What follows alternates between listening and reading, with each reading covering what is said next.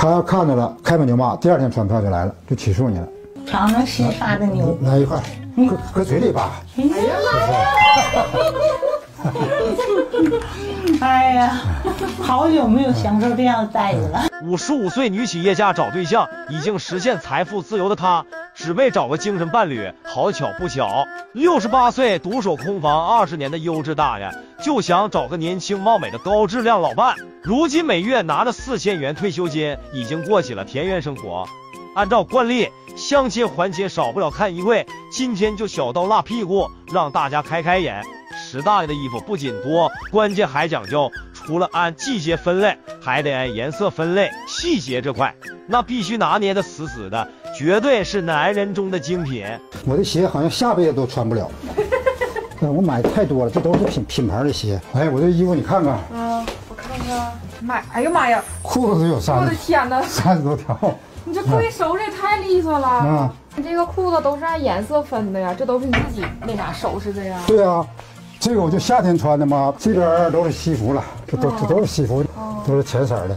嗯，这个西服，啊，这都是这平时要出席什么场合吗？西服这么多呀？从事一辈子教育工作呗，就养成这个习惯了，为人师表嘛。春蚕到死丝方尽，蜡炬成灰泪始干。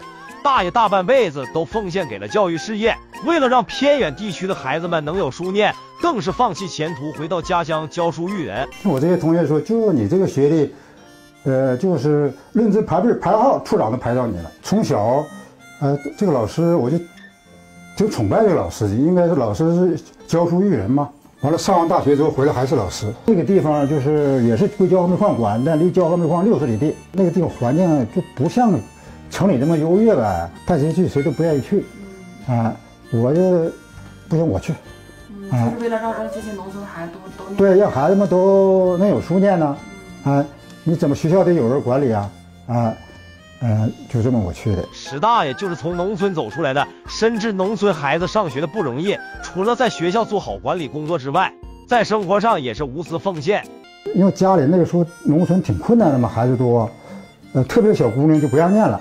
我说这孩子这么点儿，十几岁，你你将来社会主义劳动者得有文化啊，你没有文化，将来机械化你怎么搞啊？啊，你孩子必须得念书啊！我就去做家长工作呗，家长也不不同意啊，没有钱呢。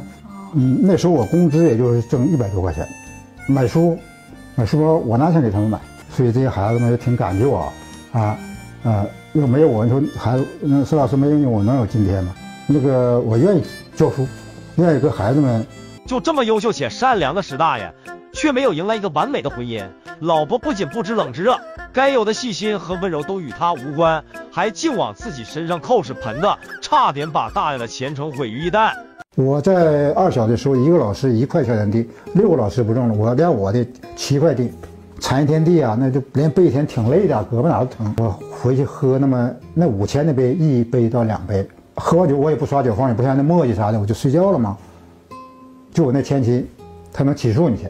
那个男的我你用啥离婚呢？我那前妻说他喝大酒，呃麻将我一年也就玩个一次两次，偶尔的玩一次两次。他要看到了，开门就骂，第二天传票就来了，就起诉你了。虽然从来没感受到过家的温暖，但是大爷还是咬着牙跟前妻过了二十年。毕竟他们这个年龄的人思想保守，总觉得离婚是件不光彩的事。最后在姐姐的支持下，大爷终于带着两个孩子脱离苦海，独自抚养两个孩子，日子实在是拮据。为了供孩子上大学，大爷迫不得已放弃了热爱的教育事业，开始下海经商，干起了煤老板。最累的时候呢，就是我刚开始我自己自己卸煤，煤矿装上去了，我不带装员工，我给这厂送去，我自己搁桥表煤给他卸。那一车煤十四五吨，卸那车煤得得好几个小时能给卸完。哎呀，那个时候腰腿哪都疼，也不太那么容易。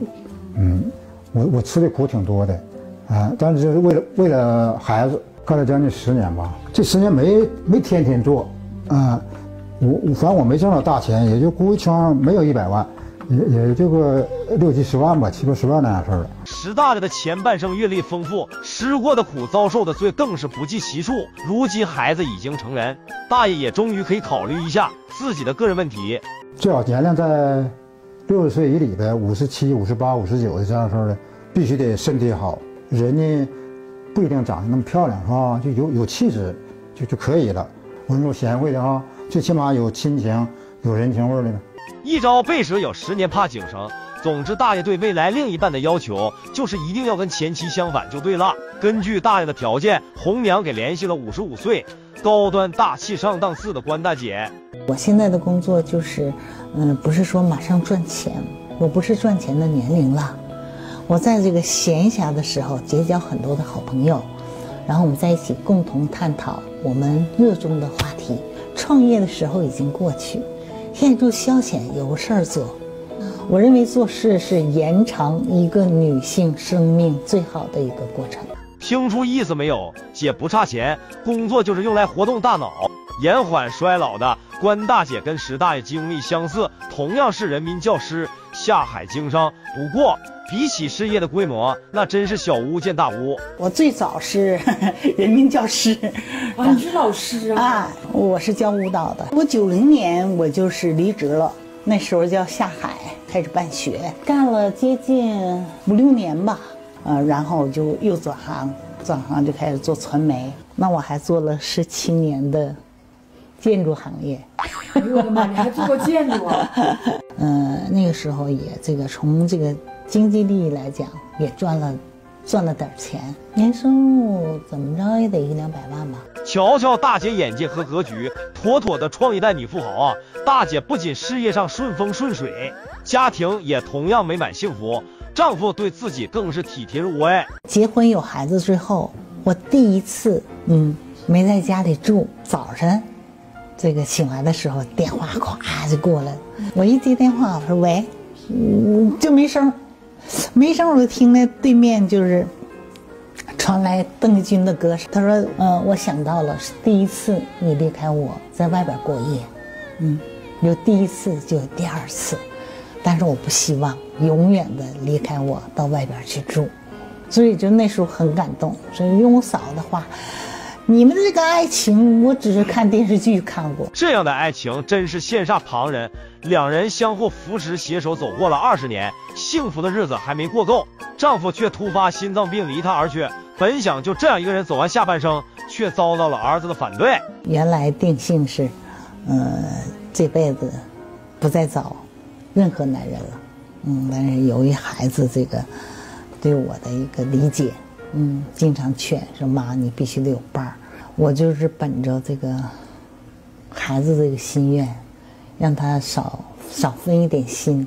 如果再选择这条路的话，嗯，我就是寻个伴儿。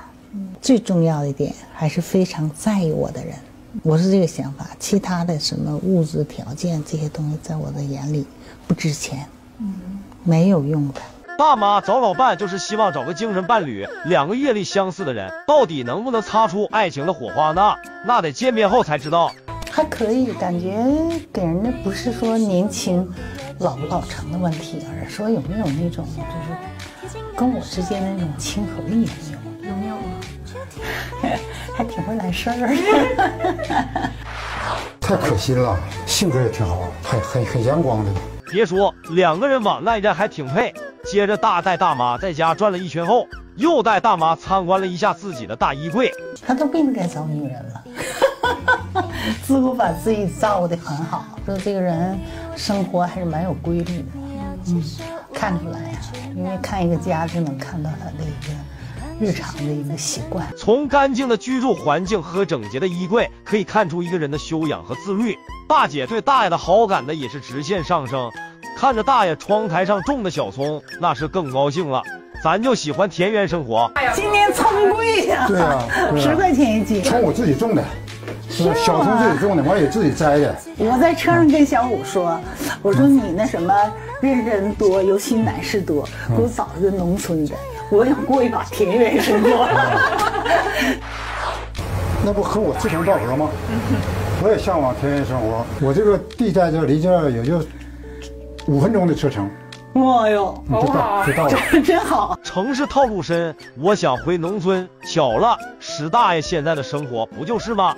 大爷借机向大姐展示起了自己的有机蔬菜。跟了我，你啥也不用干，我就是你的贴身男保姆。完完了，我这个焖罐里头，我就糊的我种的那个甜玉米，嗯纯绿色的那个甜甜玉米，啊，呀，玉米呢？好像一看都好吃，这是绿色的，都有香味儿哈，啊，真好，真好，真好。让我帮忙吗？大姐做饭也可好吃了。是吗？哎呦，别暴露会做饭啊！啥呀？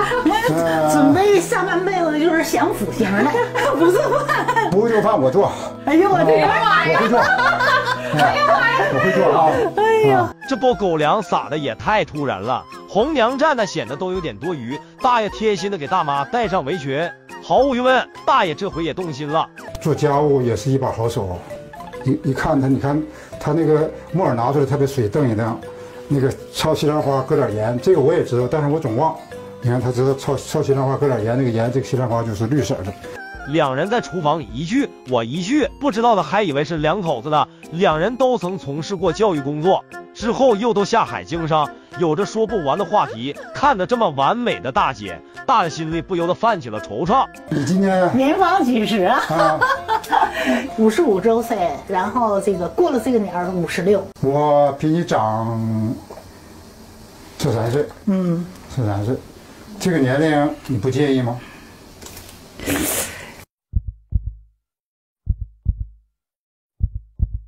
年龄这个问题好像是不是最主要的问题？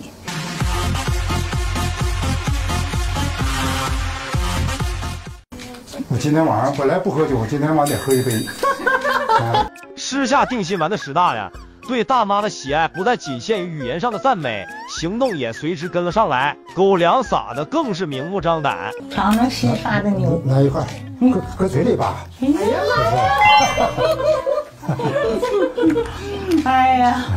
好久没有享受这样的待遇了。是吗？开不开心呢？嗯，挺开心的。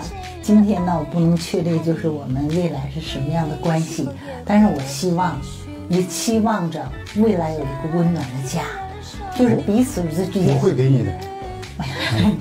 表白太快了。突如其来的表白让大姐乐的牙花子都露出来了，独守空房十余载，现在终于有人疼有人爱啊！虽说大爷快要奔七十的人了，土味情话说的那是一套一套的。卖事物都是一个理字当先，当然了，回家过日子不能讲理，是不大哥？对，家不是讲理的，家有地方。嗯，再吃一块牛肉吧。来，谢谢。这口一口的投喂还上瘾了。不得不说，大爷在撩妹方面还真有两把刷子，能说会道，还温柔体贴，哪个女人都不喜欢呢？咱俩呃留个联系方式。嗯，我的态度就是说，今天见到大哥，嗯也非常非常这个感谢上苍。我希望我的下半生是幸福的，以后有这个机缘，我愿意让你成为我的丈夫。哎呀，OK，OK，握手吧，我说吧。我愿你成为我的妻子。